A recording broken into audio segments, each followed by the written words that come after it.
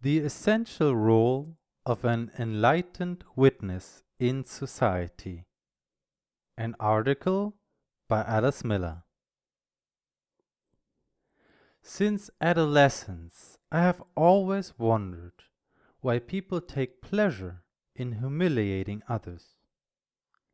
Clearly, the fact that some people are sensitive to the suffering of others proves that the destructive urge is not a universal aspect of human nature.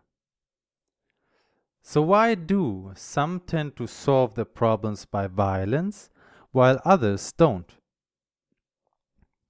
Philosophy failed to answer my question, and the Freudian theory of the death wish has never convinced me. It was only by closely examining the childhood histories of murderers, especially mass murderers, that I began to comprehend the roots of good and evil. Not in the genes, as commonly believed, but often in the earliest days of life. Today, it is inconceivable to me that a child who comes into the world among attentive, loving, and protective parents could become a predatory monster. And in the childhood of the murderers who later became dictators, I have always found a nightmarish horror, a record of continual lies and humiliation, which upon the attainment of adulthood impelled them to acts of merciless revenge on society. These vengeful acts were always garbed in hypocritical ideologies, purporting that the dictator's exclusive and overriding wish was the happiness of his people. In this way, he unconsciously emulated his own parents, who, in earlier days, had also insisted that their blows were inflicted on the child for his own good. This belief was extremely widespread a century ago, particularly in Germany. I found it logical that a child beaten often would quickly pick up the language of violence. For him, this language became the only effective means of communication available. Yet what I found to be logical was apparently not so to most people. When I began to illustrate my thesis by drawing on the examples of Hitler and Stalin, when I tried to expose the social consequences of child abuse, I encountered fierce resistance. Repeatedly, I was told, I too was battered as a child, but that didn't make me a criminal. When I asked for details about their childhood, I was always told of a person who loved them, but was unable to protect them. Yet through his or her presence, this person gave them a notion of trust and of love. I call these people helping witnesses. Dostoevsky, for instance, had a brutal father, but a loving mother. She wasn't strong enough to protect him from his father, but she gave him a powerful conception of love without which his novels would have been unimaginable. Many have also been lucky enough to find later both enlightened and courageous witnesses, people who helped them to recognize the injustice they suffered to give vent to their feelings of rage, pain, and indignation at what happened to them.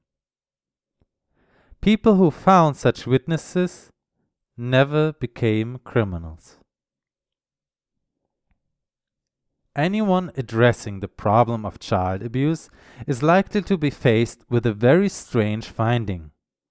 It has frequently been observed that parents who abuse their children tend to mistreat and neglect them in ways resembling their own treatment as children, without any conscious memory of their own experiences.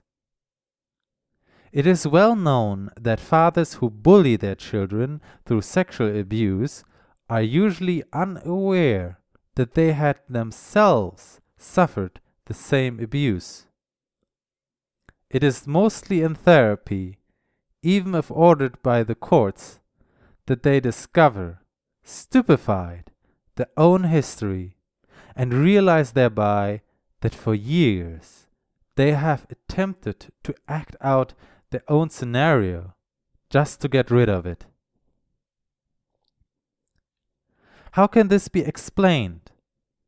After studying the matter for years, it seem, seems clear to me that information about abuse inflicted during childhood is recorded in our body cells as a sort of memory, linked to repressed anxiety.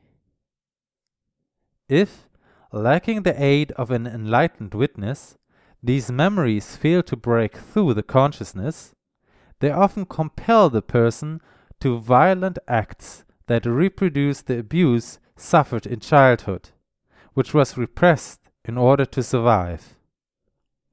The aim is to avoid the fear of powerlessness before a cruel adult.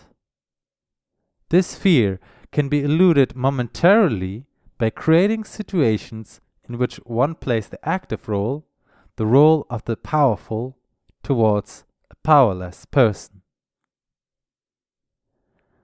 But this is not an easy path to rid oneself of unconscious fears. And this is why the offense is ceaselessly repeated.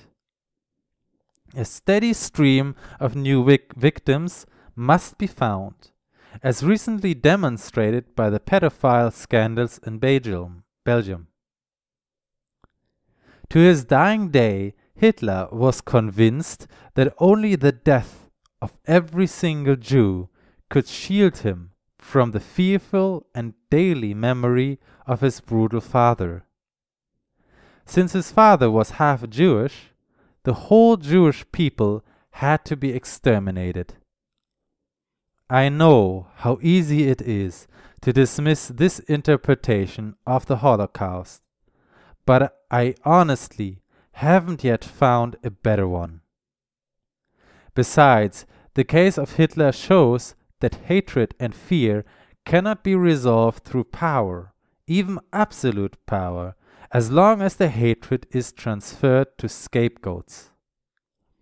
On the contrary, if the true cause of the hatred is identified, is experienced with the feelings that accompany this recognition, blind hatred of innocent victims can be dispelled. Sex criminals stop their depredations if they manage to overcome their amnesia and mourn their tragic fate, thanks to the empathy of an enlightened witness. Old wounds can be healed if exposed to the light of day, but they cannot be repudiated by revenge. A Japanese crew shot a film of thera thera therapeutic work in a prison in Arizona, where the method was based, inter alia, on my books. I was sent the video cassette and found the results very revealing. The inmates worked in groups, talked a lot about their childhood, and some of them said, I've been all over the place and killed innocent people to avoid the feelings I have today.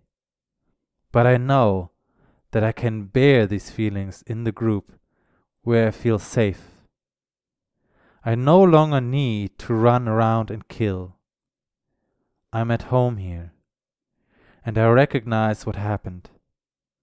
The past recedes, and my anger along with it.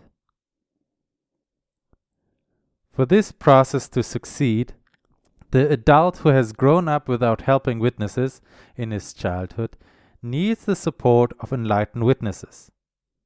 People who have understood and recognized the consequences of child abuse.